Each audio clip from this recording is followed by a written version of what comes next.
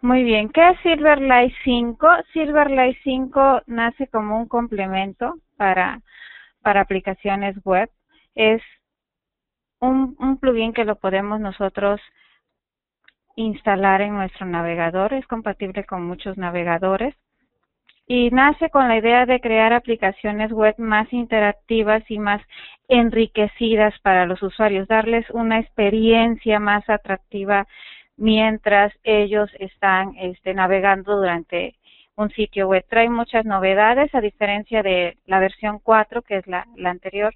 Silverlight 5 trae 40 nuevas este, opciones que están que está implementando. Dentro de ellas se, se puede decir que, que trae eh, opciones para trabajar, más opciones para trabajar en segunda y tercera dimensión, para trabajar gráficos, mejora su rendimiento, este, la calidad de video es mucho mejor, incluso ya, este, se está pensando en que pueda en que pueda ser visible desde televisores o dispositivos de electrónica. Estas novedades hacen que Silverlight 5 sea una excelente opción para agregarlas a nuestra a nuestras aplicaciones web, ya sea que las trabajemos desde HTML5 o las trabajemos desde ASP. Nada más hay que incrustarlas, este más adelante les les diré cómo incrustarlas. Este portal que está aquí, el que el que pueden ver es este es un portal hecho en Silverlight, completamente hecho sobre esa plataforma, se llama Doctor Portals. En YouTube pueden buscar el video, es un portal muy completo, eh, fueron unos hermanos que hicieron este portal muy completo y, y, sobre todo lo más interesante es cómo muestra las potencias, las bondades que te puede dar Silverlight. Sí, entre esas, esas bondades sí se ve afectado, sí se ve mermado el rendimiento de la aplicación, pero pero la, la experiencia que se le da al usuario es, es, es muy completa. Bien, dentro de Silverlight 5 nosotros podemos acceder a datos, es una, es una parte este, importante porque no solo es que Silverlight sea competencia para Flash, sino que nosotros podemos crear aplicaciones que puedan conectarse a base de datos y de ir incrustarlas nada más. Para hacer esa conexión a, datos, a cualquier banco de datos, ya sea en SQL Server, en Oracle, en MySQL o en un archivo XML, nosotros nos podemos apoyar de WCF Data Service, anteriormente conocido como ADO.NET Data Service, que es parte del, del framework de del .NET Framework 4. ¿En qué se basa W CF Data Service, en, en realidad él se encarga de exponer una cantidad de, de datos como servicio. De eso se encarga. ¿En qué se apoya? En ADO.NET Entity Framework. Cuando es una base de datos relacional, lo que hacemos es crear un modelo, como el que se crea, como el diagrama que se crea en, SQL Server. Se crea el modelo y ADO Entity Framework lo que hace es que cada tabla la maneja como una entidad se crea automáticamente una clase y se crea cada uno de sus atributos privados para que yo pueda trabajar con ellos. Nos facilita mucho la vida, por eso ahí una de sus ventajas es que se reduce la cantidad de código porque hace muchas cosas por nosotros. Y algo importante es que tiene compatibilidad con LinkU, es decir, yo puedo hacer consultas estilo SQL, por así decirlo, muy parecido, y este o puedo agregar este elementos, agregar objetos utilizando LinkU. Si ustedes han trabajado con LinkU, entonces esto se, le va, se les va a facilitar bastante. ¿Cuándo debo de utilizar ADO.NET Entity Framework? Cuando esté trabajando con base de datos relacionales, es decir, eh, con algún manejador como lo es SQL Server, MySQL, Oracle, entre otros, Postgres por, por ejemplo. Entonces, WCF Data Service este, se une con, eh, viene integrado con Visual Studios y nos permite exponer una fuente de datos, es decir, nos permite acceder a información. Para esta, esta fuente de datos, este, se utiliza el protocolo Open Data Protocol o DATA, que es un protocolo HTTP que me permite realizar consultas y me permite modificar dichos datos. Esto con base a ciertos permisos que más adelante les voy a mostrar cómo configurarlos. Dentro de, para poder acceder a esas fuentes de datos es necesario que trabajemos con los servicios, que se haga un servicio que me permita acceder a ellos. Lo interesante aquí, ahorita lo estamos casando con SQL, con Silverlight, perdón, Silverlight 5. Lo interesante es que ese servicio nosotros lo podemos consumir ya sea desde Windows Presentation Foundation, una aplicación de escritorio, o desde una aplicación móvil con Windows Phone. Ya ya sabemos que últimamente Microsoft está trabajando sobre esa línea, eh, aplicaciones de escritorio con WPF, aplicaciones web con Silverlight y aplicaciones móviles con, con Windows Phone. Entonces, consumir el servicio prácticamente vendría siendo muy parecido entre esas tres vertientes. En Open Data Protocol, para poder este, exponer estas fuentes, se pueden hacer con HTTP, o con JSON o con Atom. Nosotros lo que vamos a utilizar es Atom para el ejemplo que vamos a ver más adelante. Aquí está el funcionamiento de Open Data Protocol. ¿En qué consiste? En que ya me permite hacer una consulta de información o me permite manipular dicha información. Y nosotros damos ese permiso de acceso para esos recursos. De acuerdo al nivel de permiso, es la operación CRUD que le vamos a permitir este, dejar hacer a nuestro usuario, ya sea create, crear, read, leer, usted y actualizar, delete o borrar información. Este Open Data Protocol puede trabajar con base de datos relacionales, sistemas de archivos, si tenemos algún archivo este, en Excel, por ejemplo, o sitios web, o XML, etcétera. Muy bien. ¿En qué consiste todo eso? Ahorita para el ejemplo que vamos a ver, vamos a trabajar con una base de datos en SQL Server 2008. Nuestra base de datos. Mediante el Entity Data Model vamos a, a crear el modelo relacional, donde automáticamente me va a crear una capa de acceso a datos me va a crear las clases correspondientes con sus atributos correspondientes y todo lo que necesito para poder consultar información. Ya que creé eso, vamos a trabajar con WCF Data Service para que me permita hacer esas operaciones CRUD. Realmente el código que vamos a, necesitar es muy poco, se van a dar cuenta que es muy fácil. También se puede este, trabajar con, con WCF sin necesidad de hacer data service y directamente con LinkU. A muchos se les facilita de esa manera. Eh, ya, es, ya es opcional. ¿Cómo vamos a consumir el servicio? El servicio lo vamos a consumir desde una aplicación en Silverlight 5, aunque como ya lo había mencionado, podemos utilizar este, cualquier otra aplicación, ya sea en Windows Presentation Foundation o Windows Phone.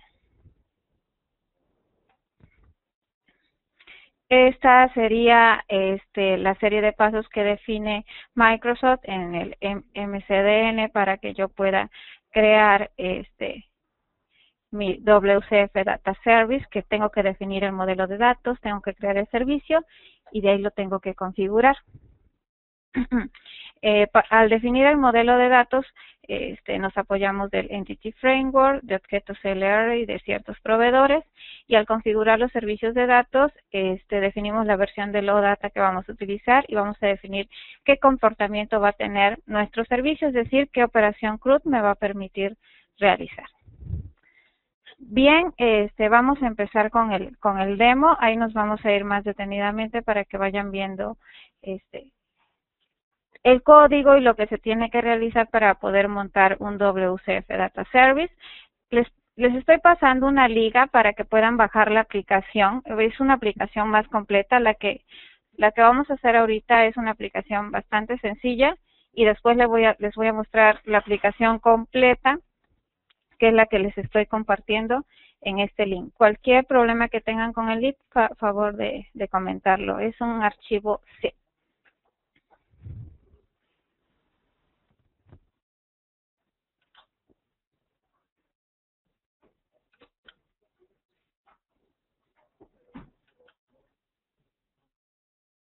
Muy bien, eh, espero que todos puedan ver eh, mi Visual Studio. Vamos a crear un nuevo proyecto. Eh, es importante que tengamos instalado el Silverlight este, versión 5 en, en nuestra máquina.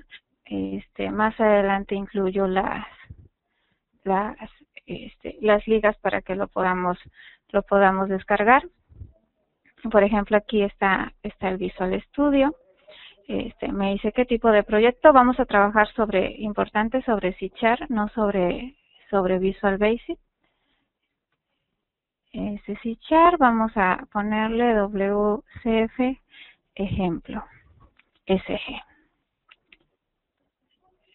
Voy a cerrar el chat. Hasta ahorita no hay preguntas.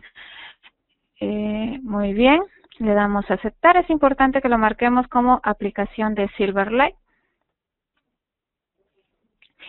Posteriormente nos va a salir una aplicación donde nos diga dónde vamos a hospedar esta aplicación Silverlight. Como les digo, eh, nada más esto, la aplicación hay que incrustarla ya sea desde en ASP o ya sea en código de HTML5.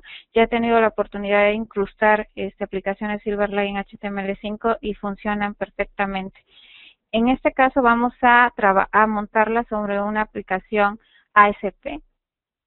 Ahí la vamos a hospedar. Este, vamos a, dejar la opción proyecto de aplicación web ASP y la versión que estamos utilizando es Silverlight 5.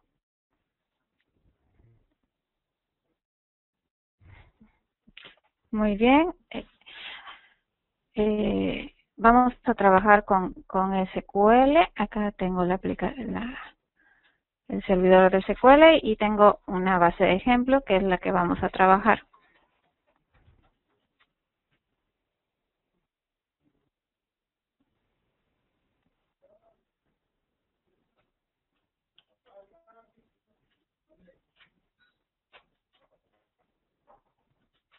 Muy bien, ya ya cargó nuestra nuestra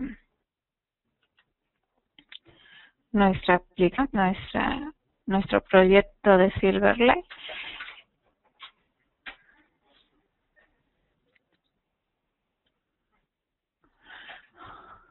Muy bien, ahora lo que vamos a hacer es que tenemos nuestra aplicación Silverlight como, como la nueva liga de, de Microsoft, la nueva línea, perdón, este es XAML. Si ya han trabajado con Windows Presentation Foundation, pues van a ver que es muy similar.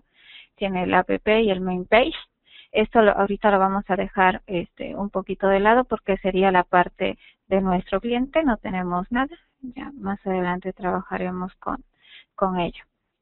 Lo, lo que me interesa es ASP, donde vamos a montar este eh, toda nuestra fuente de datos y la vamos a consumir desde el cliente de Silverlight. Entonces acá en nuestro ASP vamos a agregar un nuevo elemento.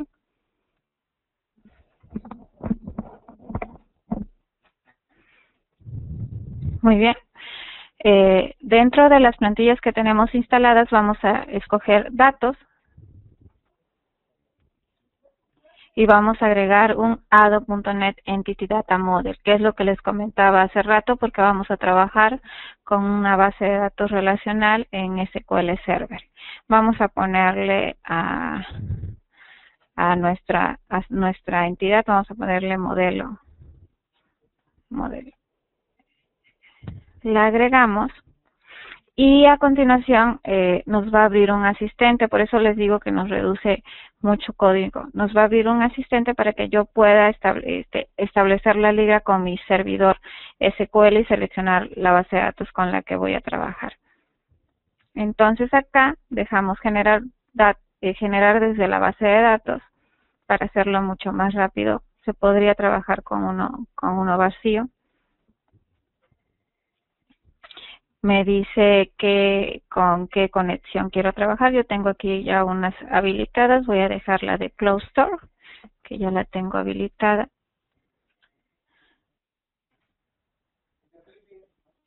Me dice que si deseo incluir datos confidenciales en la cadena de conexión. Ahorita vemos la cadena. Bien, aquí me va a cargar la información que tiene nuestra nuestra base de datos, tanto tablas, pistas, con las que con las que cuenten mi base de datos. Es un proceso un poco un poco lento, pero realmente vale la pena.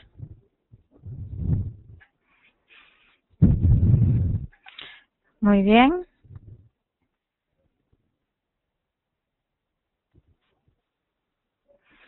Ya nos cargó los datos, aquí no tenemos vistas, no tengo procedimientos y tengo estas tablas. Vamos a, seleccionar la de productos y categorías. Esas son las que vamos a trabajar para los ejemplos y ya finalizamos. En este momento lo que lo que se está haciendo, lo que hace el Entity Adobe.NET Entity Framework, lo que hace es crear la serie de entidades, las series de clases que vamos a, a poder manipular desde nuestro WCF Data Service. Muy bien, está cargando, agrega una serie de referencias a nuestro proyecto y a continuación les voy a mostrar el diagrama de cómo, de cómo quedó nuestro Ado.NET Entity, nuestro modelo. Aquí está.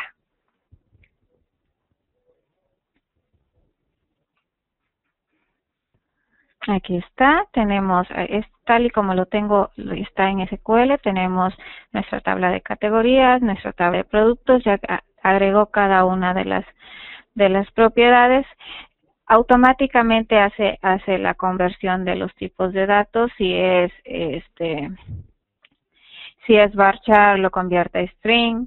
Si es fecha si es day lo convierte a daytime.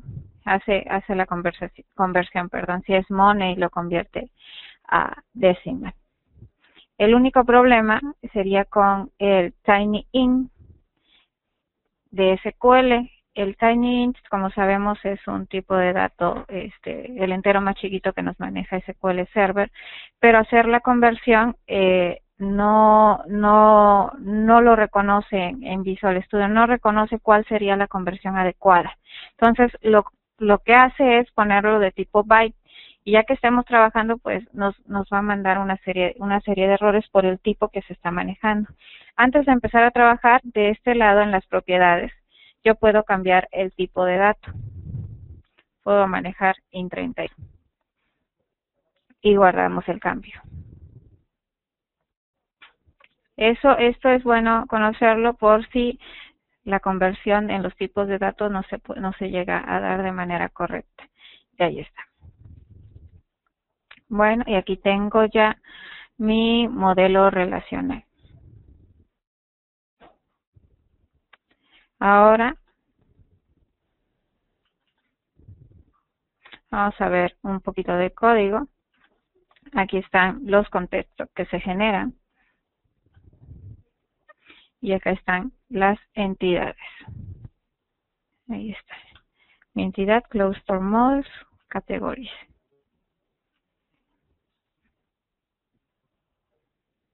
Y la de productos, acá está. No la veía. Muy bien. Serían nuestros contextos y nuestras entidades. Contextos. Ahí está. Todo el método que se genera tras bambalinas, behind code. Y está este, la de productos. Muy bien. Si nos vamos al web config de nuestra aplicación ASP, podemos apreciar que no se guardó, no se guarda la cadena de conexión porque quedamos que la íbamos a embeber dentro de nuestra aplicación. Bien. Ahora lo que vamos a hacer es crear un servicio. Ya tenemos el modelo, ahora vamos a crear nuestro WCF Data Service para poder este crear la fuente de datos y agregar el servicio para consumirla. Entonces agregamos un nuevo elemento.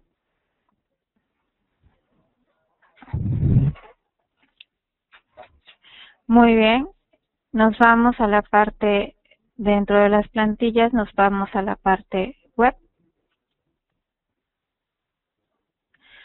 Muy bien, tenemos aquí dos servicios este, que podemos crear a través de Windows Communication Foundation, que sería el, servicio tradicional, servicio WCF. Este es, eh, algunos lo consideran mucho más fácil de utilizar que el, Data Service. No están acostumbrados a trabajar con, con dar permisos y quitar pero ahorita vamos a trabajar con este, servicios de datos de WCF. Acá aparece nuestro nombre. Eh, tengo mi Visual Studio en español, si estuviera en inglés diría WCF Data Service. Bien, vamos a cambiarle el nombre, vamos a ponerle servicio Store y vamos a agregarlo.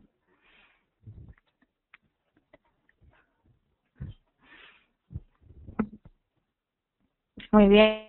Eh, aquí está nuestra nuestro servicio. Listo. Primero aquí tenemos que escribir el nombre de la clase que va a ser nuestro origen de datos. Ah, necesito ver mi solution explorer. Acá está. Le pusimos, vamos a quitar este código.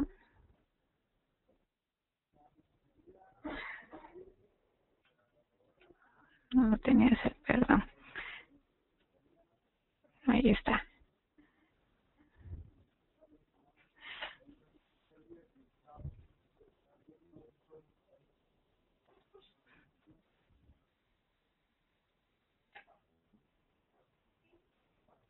Tenemos acá servicio stores, que sería nuestro nuestro data service. Eso.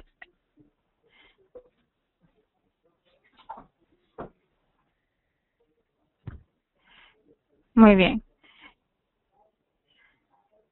Estoy checando.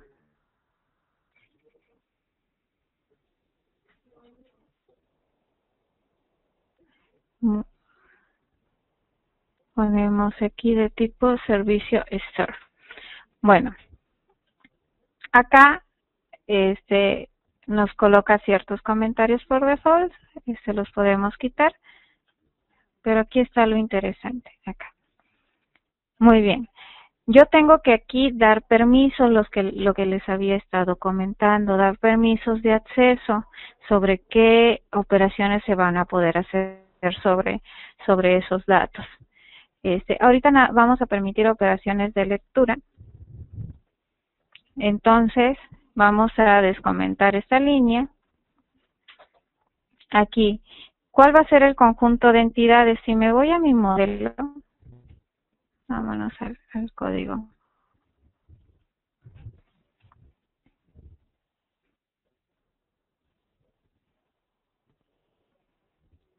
Dentro de mis entidades tengo categories y tengo products.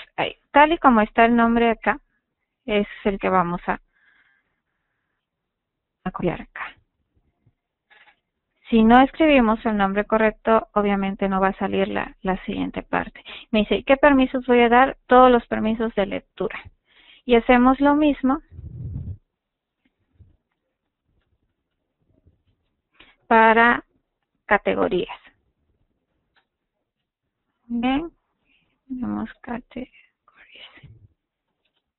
y damos los permisos de lectura también. Muy bien. Y lo que les decía, hay que también configurar la versión del OData con la que vamos a trabajar. En este caso vamos a estar trabajando con la O2. El ejemplo que está aquí abajo es cuando ya quiera hacer operaciones de manipulación de datos.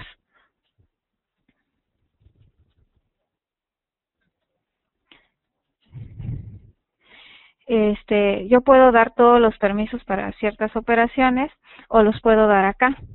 Para, en más adelante, en el ejemplo que, que les preparé más completo, vamos a ver cómo puedo agregar, agregar datos y dar esos permisos para poder hacer esa operación. Muy bien, acá ya hay que checar cómo se llama nuestro modelo, la clase de nuestro modelo, se llama entities. Entonces, esa es lo que debo de poner acá. Entities. Muy bien. Guardamos. Y vamos a generar la parte web. Todavía no estamos trabajando con, con el cliente. Ahí va el progreso de compilación y compilación correcta. De ese lado podemos apreciar. Vamos a ver en nuestro navegador a nuestro servicio, el que acabamos de crear. Vamos a explorar con, este, yo recomiendo que se trabaje con Internet Explorer.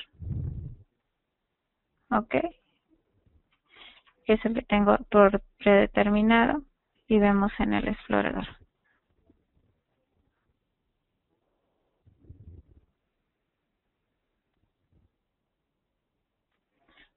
Muy bien, va a tardar este, un poquito a cargar. Una de las características que tiene este ese servicio es que un poquito un poquito lento, está tardando un poquito en cargar.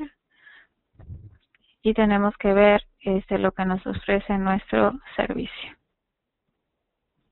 Bien. Este, este error que aparece aquí, error de la solicitud, se puede deber a varias cosas. Eh, nos vamos al menú herramientas, opciones de internet. En contenido nos vamos a fuentes y web slice. Y debemos de tener deshabilitada esta opción, marcar automáticamente la fuente como leída. Hay que tenerla deshabilitada.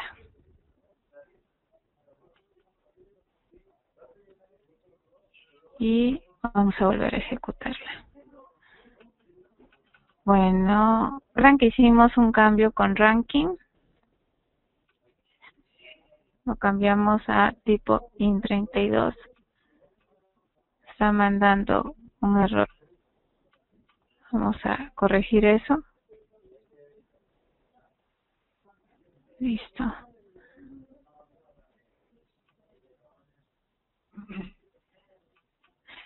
Ya vamos a, checar, ya, ya quedó. Vamos a volver a compilar para guardar esos cambios. Compilación correcta. Y vamos a mostrar nuestro servicio en el explorador.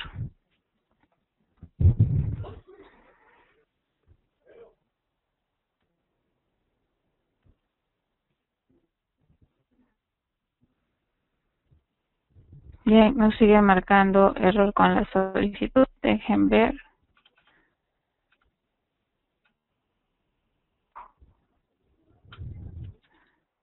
Con las entidades.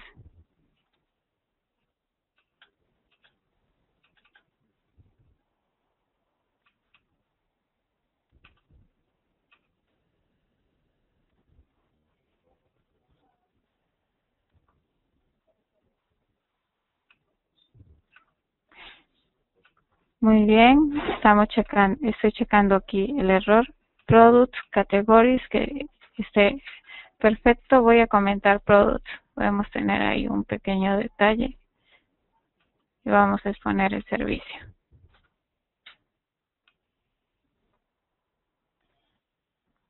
Muy bien. Algo pasa con mi Internet Explorer. Dejen checar.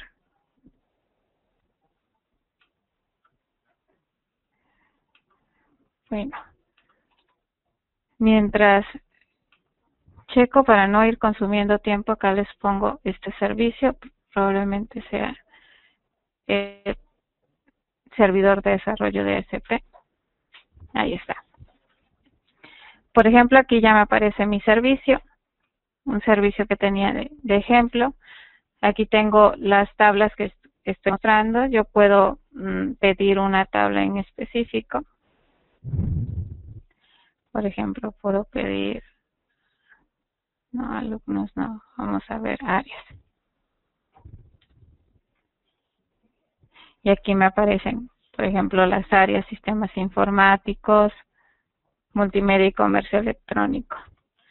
Yo puedo decir, quiero un área en específica, puedo poner el área 1. Aquí cuando nosotros hacemos esta consulta, de lo que hace es filtrarnos por la llave primaria. Áreas 1, la área 1, por ejemplo, aquí es sistemas informáticos. Y puedo decir, pues de esa área quiero ver a los alumnos. Aquí lo puedo mostrar. Ahí está alumnos que pertenecen a esa área. Muy bien. Me lo muestran en XML. Si por algún detalle les digo no lo pueden llegar a ver, todo, toda la cuestión está acá en contenido, configuración de las fuentes y dejar deshabilitada ay, no le voy a dar estas opciones porque ya me ha pasado en, en, clases con, con los alumnos. Muy bien.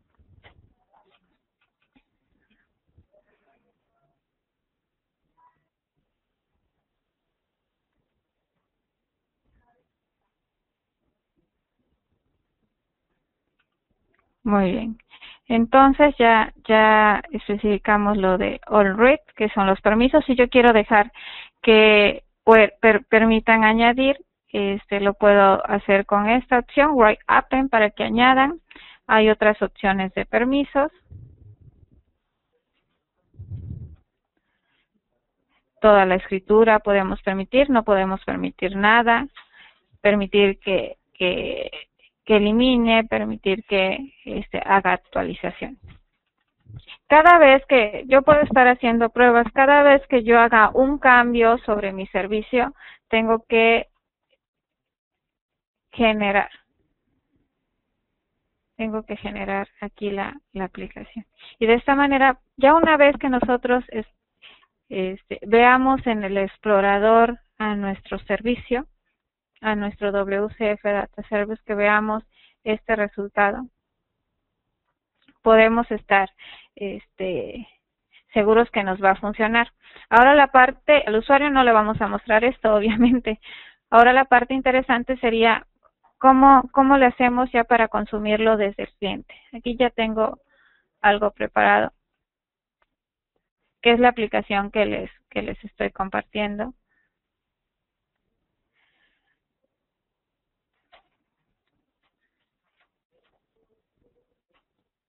Está, está cargando el, diseño. Es que ok, ese sería un shield window para los que han trabajado con Silverlight, una venta, como una ventanita emergente y esa sería mi página principal. Por ejemplo, aquí tengo un grid. Tengo un grid que me va a mostrar información de los alumnos y aquí me va a permitir agregar nuevos alumnos y lo que voy a hacer va a ser invocar a, a, ese, a este chill window y hacer la operación. Algo interesante acá es que aquí en esta opción voy a mostrar las cargas que yo tengo dadas de alta. Este,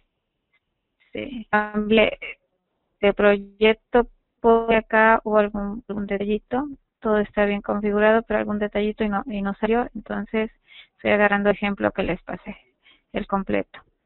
Bien, este, para configurar el grid, para los que han trabajado en Windows Forms, pueden estar acostumbrados a, ver el código este, diferente. Aquí, eh, como lo hacemos en Windows Presentation Foundation, trabajamos tras bambalinas en nuestra, en nuestra parte de diseño con XAML, como este estándar basado en XML, como pueden apreciar. Bien, importante aquí en nuestro Git tener configurado que no me permita generar columnas para que yo las pueda personalizar. Otro, otro punto importante eh, sería que en mi grid yo indico los datos van a ser dinámicos, es, es acá, item source, binding, y configurar cada una de las columnas que va a mostrar nuestro grid. Tenemos una, dos, cinco columnas que serían los datos que me va a mostrar. Estos datos deben de coincidir, es importante, con mi modelo como los tenga, los tenga dados acá. Es importante porque si no, de lo contrario, no nos van a aparecer los enlaces de manera correcta. Ahí le digo que esa columna, qué dato va a mostrar. Y aquí en template pongo un botoncito para que me permita eliminar ese, ese dato. Bien. Me regreso al diseño. Entonces aquí me va a mostrar esos registros. Vamos a hacer la prueba. Vamos a ejecutar.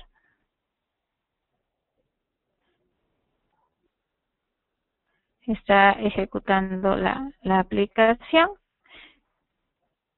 nos aparecer un conteo clásico, bueno, muy conocido de Silverlight, si han visto ciertas, ciertas páginas con este complemento.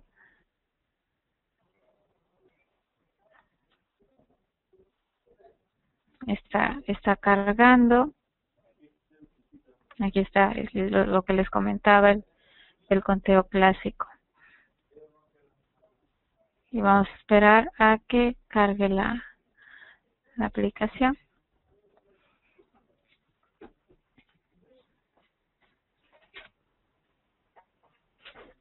Muy bien, aquí está la aplicación y por ejemplo ya me carga a ciertos datos que ya los tengo dados de alta, la fecha, la especialidad, ahorita les comento aquí qué hay que hacer, fecha de nacimiento, los apellidos y el nombre. ¿Por qué aquí que aparece un número? Porque es una referencia. Especialidad hace referencia a una tabla que se llama que se llama áreas.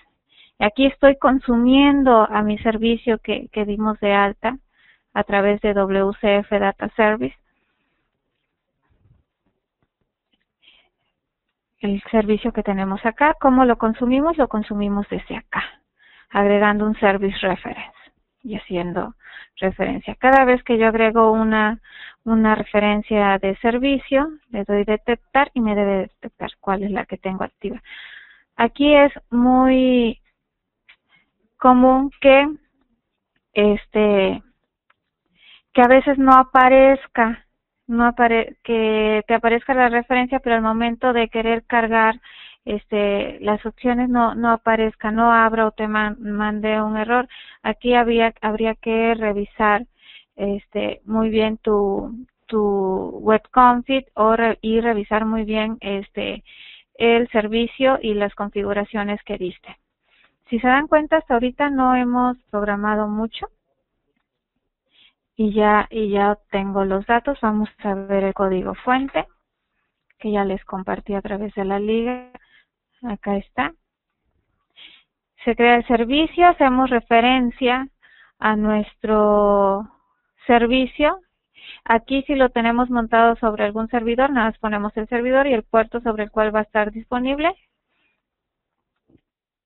Muy bien, aquí lo que les mencionaba, utilizar LinkQ. Aquí hacemos una consulta.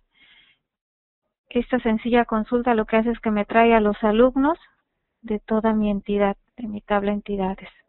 Aquí los trae alumnos y ya esos alumnos simplemente los muestro en mi grid. Este es, este es un grid. Deje alumnos muestro la lista de mis alumnos. Lo paso a una lista y lo asigno a mi data grid para que aparezca. Aquí lo que hacemos en mis alumnos continuación es que va checando uno por uno y va, va añadiéndolo a la lista. Muy bien. Ahora, bien, voy a acelerar un poquito. Este, Cuando yo le voy a dar agregar, me va a abrir un chill window, que es este. Aquí configuré para que se llenara el combo con los datos que tengo en una tabla de Herrera. Vamos a ver, perdón, vamos a ver el código fuente.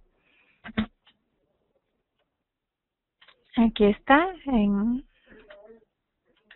en áreas, aquí lo tengo muy parecido a como lleno un grid aquí, hago una breve consulta a la tabla áreas y se lo asigno al combo, acá está.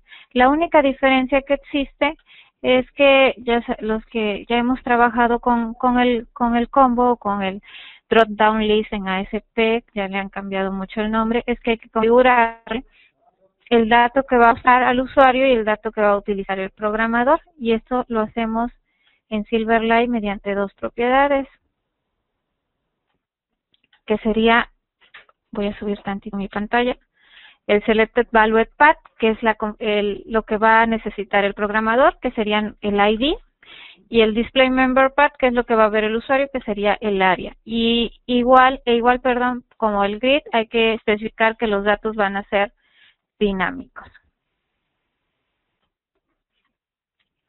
por medio del binding. Muy bien. Entonces ya con eso llenamos nuestro combo de alumnos y ya para agregar, nada más para agregar al, al alumno, vean aquí, ya tengo una clase de mi entidad que yo no la tuve que hacer, ya me aparece automáticamente.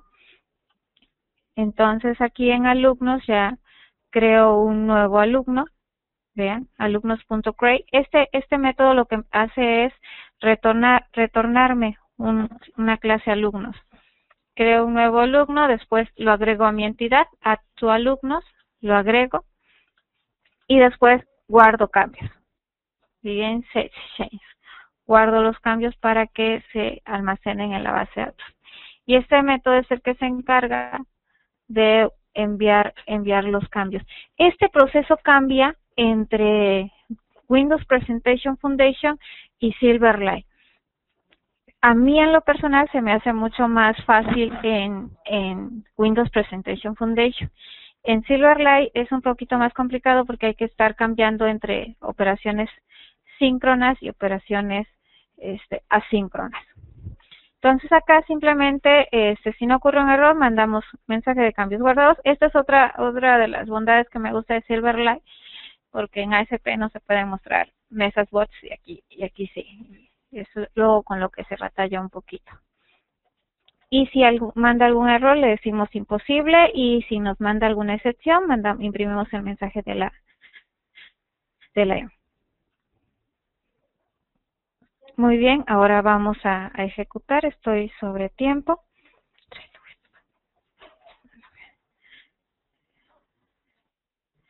Estoy sobre tiempo.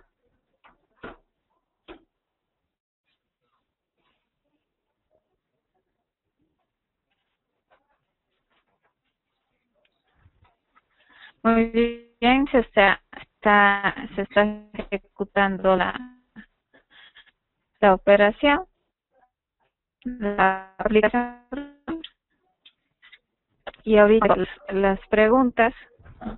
Vean, aquí me muestra, abro, aquí tengo mi chill window y vamos a dar de alta a alguien.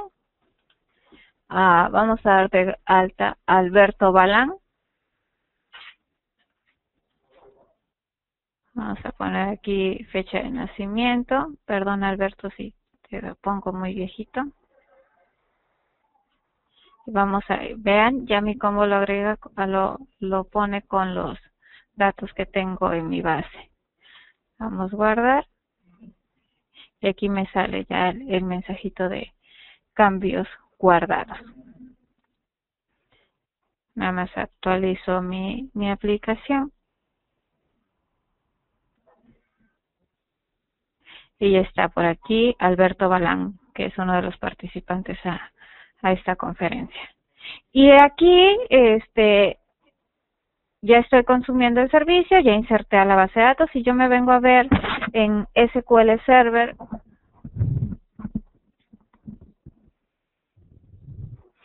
yo vengo a ver a SQL Server, aquí tengo SQL Server, y hago un select para que digan, eh, que no digan que este, se está guardando de manera este, local. Acá está Alberto Balán, ya directo a mi, a mi servidor de base de datos. Ventajas aquí, este, por ahí Alberto Balán pregunta para qué sirve exactamente Silverlight. Ventaja aquí es que esta parte yo la puedo incrustar sobre mi aplicación. Haz de cuenta, Alberto, que puedes tener una aplicación en ASP y este y necesitas crear un, pequeño módulo que te permita hacer una inserción, una operación.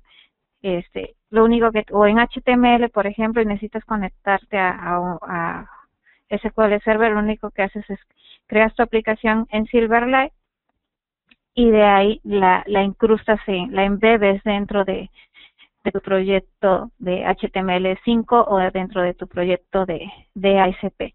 ¿Cómo la embebes? Pues es esto, el archivo SAP. Esto, esta es la, la parte interesante. El archivo SAT es el archivo que se crea con la aplicación de Silverlight y esta es la que, la que tú embebes dentro de tu proyecto ASP. ¿Para qué? Para que tú puedas montar esa funcionalidad. Muy bien. Este, hasta aquí sería todo lo del WCF Data Service. Esta aplicación, como ya lo mencioné, se las compartí junto con la base de datos. Muy bien. Ya nada más para finalizar, este, Karen. Creo que ya vi el problema de hace ratito, aquí está. Se quedó abierto el servidor. Muy bien. Este.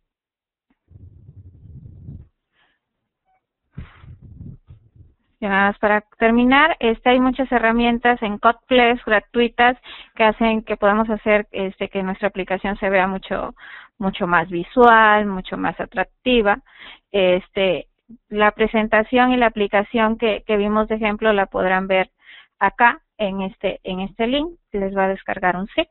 Y este, si quieren instalar Silverlight, lo pueden hacer este, desde esta, esta liga. Aquí les va a mandar todo lo necesario para, este, para que puedan instalar Silverlight en sus equipos. No me queda nada más que darle las gracias. Me, me hubiera gustado tener más tiempo para irnos un poquito más despacio.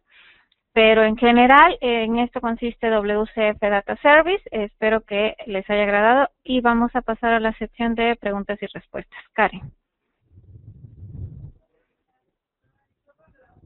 Muy bien, muchas gracias María. ¿Puedes dejar de compartir tu presentación, por favor?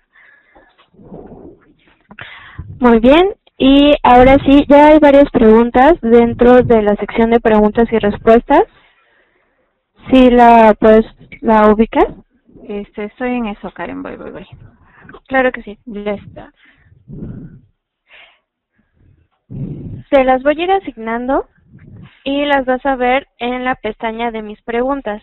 Ya te asigné una. Mis preguntas, ok. Muy bien. Bien, este veo de Iván Calderón, ¿qué desventajas tiene Silverlight? Uy, bueno, dentro de las desventajas es que me parece que ya no va a haber otra versión del Silverlight. Este, me parece que nos vamos a quedar hasta la versión 5. ¿Por qué? Porque Silverlight estuvo pensando este al inicio como para darle competencia a Flash y Flash ya también me parece que ya se va este del mercado. Entonces, este probablemente Silverlight ya tenga que aparecer. Aparte, no ganó tantos adeptos como como Microsoft hubiese querido, pero aún así lo del WCF Data Service que acabamos de ver, pues no está casado con Silverlight. Es una técnica que podemos utilizar ya sea con Windows Presentation Foundation, que, es algo que está ganando muchos muchos adeptos. Sus desventajas sería pues que que si es si es pesado, este y sí eh, hay muy poca información sobre en la red sobre las sobre toda la potencia que le, le podemos sacar. Me pregunta Rafael Gamas Gutiérrez que se puede manejar BD en MySQL, claro, claro que se puede trabajar con base de datos desde desde MySQL, este a través del entity.net ado.net Entity Framework, este porque al final de cuentas trabajamos con base de datos relacionales. Rafael Gamas Gutiérrez pregunta, este, si debido a un error de configuración en fuentes de navegador no accede a la base de datos, ¿cómo garantizar que cuando lo ponga frente a los usuarios que la app no va a fallar? es como como como cualquier aplicación puede este, surgir errores en tiempos de ejecución ya estemos en ASP ya estemos en HTML5 este cómo que este asegurarnos de que no va a fallar este lo que podríamos hacer es configurar bien este nuestro servicio desde un inicio. Si nosotros lo podemos ver cualquier otro usuario lo podrá ver. Y y nada más este checar bien el, el navegador con lo que se está trabajando porque muchas veces los navegadores no, no tienen el plugin instalado. Y eso y eso puede puede generar la, la fuente y checar que no no tengamos este saturado nuestro nuestro servicio por ejemplo yo tengo cuatro servicios de SP corriendo y, eso y eso alenta la computadora algo algo que no me gusta es que hay que especificar el puerto y por ejemplo si por X razón ese puerto está ocupado y se llega a levantar el servicio en otro puerto, pues es algo que, que no va a funcionar. Nada más habría que checar esto. Este, Alex Niño pregunta, ¿cómo puedo proteger la consulta de la base de datos frente a una ay, ya se me fue. Ah, frente a una sentencia de SQL injection en Silverlight. Mm, ahí te podría decir que lo que yo hago cuando trabajo con SQL eh, Injection, para, cuando trato de evitar SQL Injection desde mi aplicaciones, es no, es trabajar con parámetros, es no permitir eh, que el usuario tenga la libertad de escribir lo que quiera en los, en los text bots. Este, trabajar con parámetros y ya los parámetros lo que hacen es evitarte, por ejemplo, si quieren este, comentar cierto código desde el textbot, es típico, este, con los parámetros lo, lo, descartas por completo. ¿Qué diferencias da utilizar WData Service de contra OData? Este, ya lo habíamos mencionado que trabajan a la par.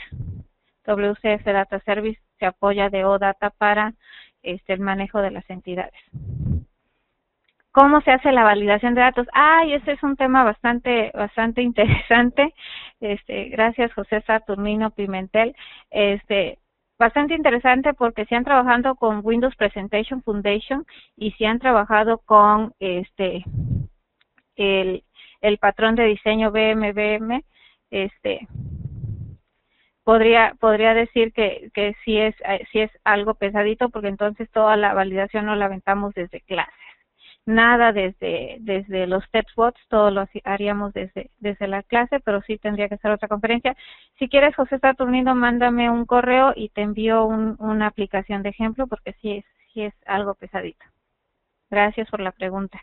Carlos Ortega pregunta, ¿qué tal si quiero empezar de un modelo en un en lugar de una base de datos existente? ¿Cómo empezar? Además, ¿qué pasa si voy evolucionando poco a poco la estructura de la BD que tengo que hacer? si quieres empezar un, un, modelo desde cero, pues empiezas a agregar, arrastrar este, tus, tus clases, tú las empiezas a crear dentro de tu, de tu modelo. Haz de cuenta que donde nos aparecía el diagrama te va a aparecer un, un área vacía, ahí tienes que ir agregando, agregando las clases y agregando cada uno de los productos. Cada vez, esa es una de las desventajas que me olvidó comentar a la primera, cada vez que tú hagas una modificación en tu modelo, habría que estar actualizando nuestro nuestro servicio porque como que se queda con el modelo viejo. Entonces, ahí hay que estar actualizando la estructura de la base de datos y tener mucho cuidado que el modelo que tenemos en la base de datos este con el modelo que tenemos en en nuestro manejador sea el mismo, el del manejador de base de datos y el de el que trabajamos desde Silverlight sea el, mismo el mismo modelo, que no lo cambiemos. ¿Cómo manejamos las transacciones desde Entity Framework? Hasta ahorita, este, cuando trabajamos con, si han trabajado con SQL, este, SQL Client, esa, esa librería, desde ahí las, las podemos trabajar igualita esas transacciones. Este, ahorita lo hice desde sin necesidad de hacer transacciones por el corto tiempo que, se me da para, para la presentación, pero igual Ángel me puedes mandar un correo y te mando, te mando un ejemplo. Este, Jorge Martínez, WCF es una forma de crear aplicaciones en capas. Ah, podría decirse que sí, aunque se podría decir que sí porque es como si estuviéramos creando una biblioteca de clase. Y, y nada más estaríamos cambiando, haz de cuenta que esa sería tu biblioteca de clases en la parte de, de los negocios, eh, tu manejador sería tu capa de datos y la parte del cliente podría ser Silverlight o podría ser otra otra aplicación. Sí, podríamos decirlo. Aunque deberíamos de estructurarlo de diferente manera. A mí me gusta trabajar en capas con biblioteca de clase. Jason Rodríguez, ¿dónde tener más info acerca de Silverlight y WCF Data Service. En el MCDN vienen varios ejemplos. Eh, como siempre se queda corto y nada más te dice las cosas este, que deberían de pasar y no las que no realmente cuando hace la aplicación no te pasan. Este, pero en silverlight.net este, ahí viene muy bien y vienen videotutoriales sobre sobre este algunos ejemplos desgraciadamente viene más orientado al que se vea bonita la aplicación, a que se vea funcional, pero este si necesitas más información me puedes enviar este un correo. Silverlight ya no se utilizará en futuro por la llegada, ah, probablemente, es lo que les comentaba, probablemente este ya no ya no se vaya a utilizar. Bueno, este muchas gracias a todos. Este Karen, te dejo o reviso todavía una última. Eh, ya no nos da tiempo. Eh, de todas maneras, no se preocupen, todas sus preguntas las estamos guardando y posteriormente se las vamos a enviar a María para que las pueda responder. Este, Karen, en el chat dejo mi correo para seguir este, en contacto con, con los participantes. Claro que sí, María, adelante.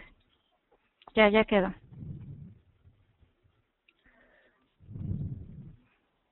Muchas gracias María por tu sesión. Gracias a ti.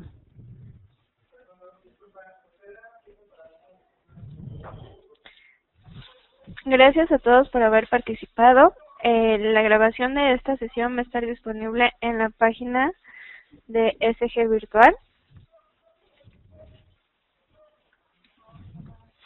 Algunos me preguntaban de las constancias. Eh, Después de terminar el evento, les va a estar llegando un correo,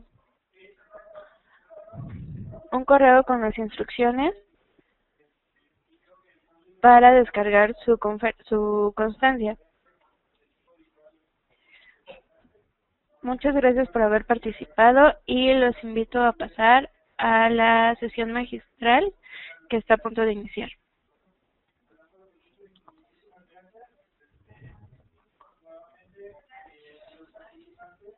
Gracias a todos. Hasta luego.